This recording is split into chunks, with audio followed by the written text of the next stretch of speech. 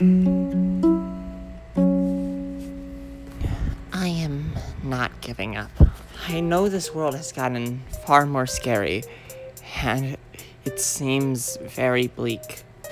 But there are still things worth fighting for, worth living for. And personally, I try to not live under the assumption that things are going to be the worst possible. Rather, I try to live under the assumption that those are possibilities and that I have to work to prevent them. The daunting task of facing and trying to navigate through the terror of the now is not without hope. It can't be without hope. Hope is the mechanism through which we can move forward, past all of this. We must remember our own hope for the future. Speak and share and live our dreams as much as possible. And never go quietly into the fascistic night.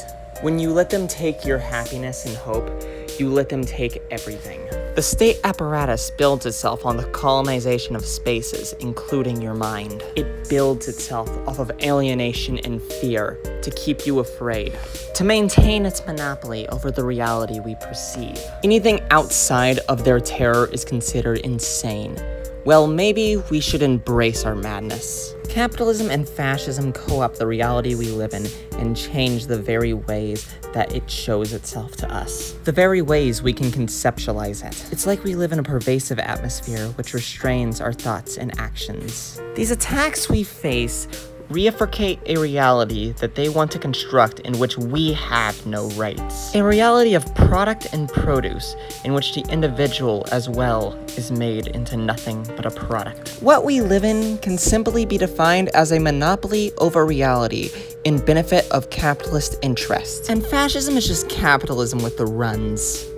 Its hostility emblematic of its weakness. The scam culture and corruption that we see is the decay process of the nation state, and it's only going to get worse. So long as they have a monopoly on reality itself.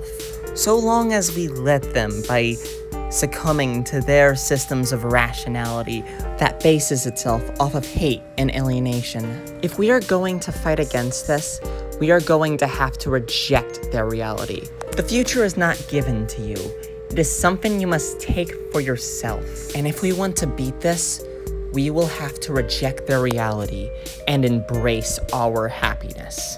To act with hope for a better future and to live with determination.